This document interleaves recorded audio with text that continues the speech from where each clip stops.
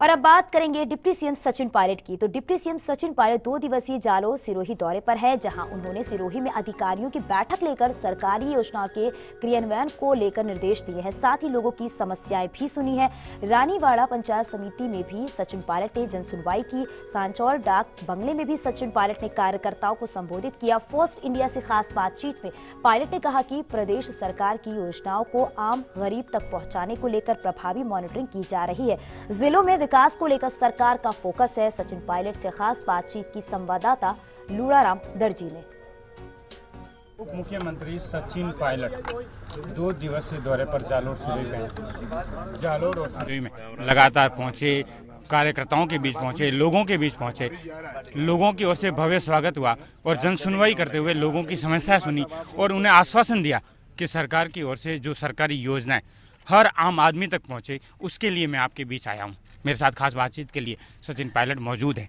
Pilot साहब जिस तरीके से आपने संबोधन में कहा सरकार की योजना आम आदमी तक पहुँचे इसलिए आपकी प्रभावी मॉनिटरिंग हो रही है। प्रदेश में सरकार बनने के बाद हम सभी लोगों की ये ज़िम्मेदारी बनती है कि जो हमने वादे जनता से किए हैं उसी पर विश्वास करके हमको वोट मिला है। हम सरकार में अगर आज काबिल हुए हैं, पब्लिक की वजह से हुए हैं, और जो भी जन कल्याण के लिए हमने नीति निर्माण किया है, जो योजनाएँ बनाई हैं, उसका सही समय पर और सही ढंग से क्रियान्वयन हो, ये हम सबका फ़र्ज़ बनता है। इसी को लेकर इन जिलों का आज मैंने दौरा किया है। अधिकारियों के साथ हमने मीटिंग्स करी हैं।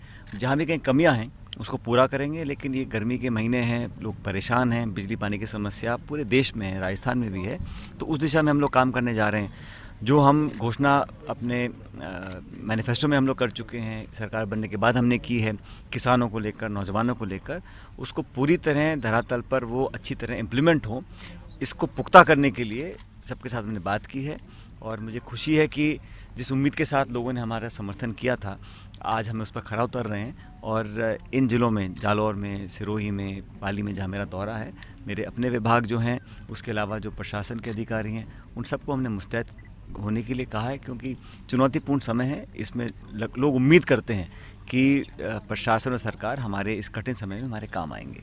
पायलट साहब ये काफ़ी महत्वपूर्ण सवाल हो जाता है कि चुनाव से पहले कुछ कार्य थे विकास कार्य जो रुक गए तो उन पे किस तरीके का आपका फोकस रहेगा? जो ऐसा है जनहित में जो काम है वो कभी नहीं रोकने वाले हैं। द्वेष की भावना से काम करना हमारी फितरत में नहीं है। तो पब्लिक की जो डिमांड्स हैं और जो पब्लिक के वेलफेयर के काम हैं, उन सबको हम पूरा करेंगे, बल्कि उसमें वृद्धि करना चाहते हैं। यह है उप मुख्यमंत्री सचिन पायलट, जिन्होंने कहा कि सरकार का जन कल्याणकारी योजनाओं पर फोकस रहेगा। लोनाराम फ़र्स्ट इंडिया न्यूज़ जालो